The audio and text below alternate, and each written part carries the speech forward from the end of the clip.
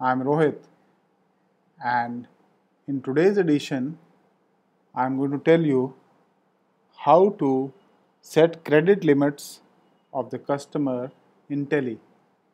Credit limit basically means the kind of credit which you want to give to a customer. There's a limit you are going to set and if the balance, the account balance exceeds that limit, it will not allow you to bill to the customer. To activate, I'll press F11, accounting features, maintain budgets and controls, yes. Now I will go to the accounting info then to ledgers I have already made some ledgers so I will just alter one. Let, let me alter customer one. Customer one is my customer and is placed under sundry debtors.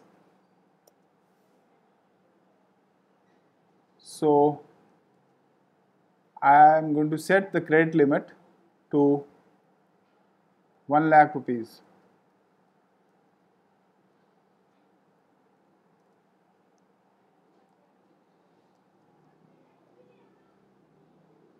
Now, if I go to the ledger account of customer 1, I find it's blank. So what I'll do is, I'll make a sales invoice in the name of customer 1.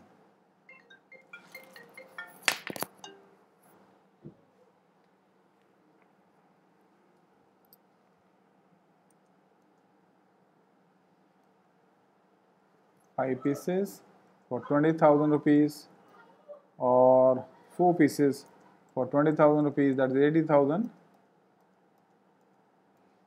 and I save this invoice.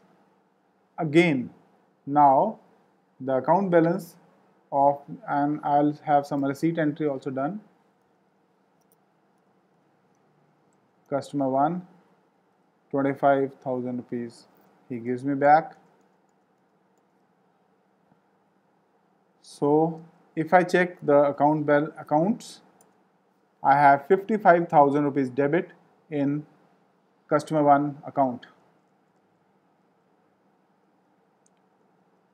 Now,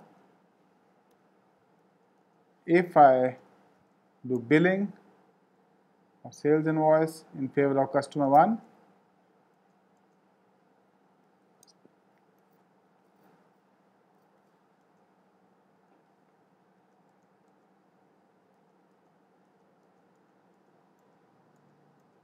I am able to do it.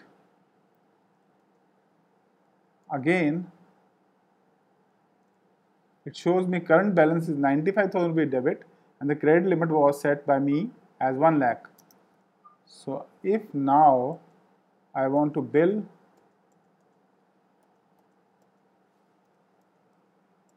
again to the customer, it shows credit limit of customer 1 is 1 lakh rupees and it has exceeded by 16,000 rupees. So it doesn't allow me to bill. So I don't have any option. The billing is stopped in favor of customer 1 because the credit limit has increased. Now there are only two ways to continue with the billing. Either the customer 1 gives me some payment or I receive some amount from customer 1 or else I cannot bill this customer. So, today we learned how to set credit limits in Tally and control our outstandings. Do subscribe to my channel Discover Tally in YouTube for more such uh, tidbits of Tally. Thank you.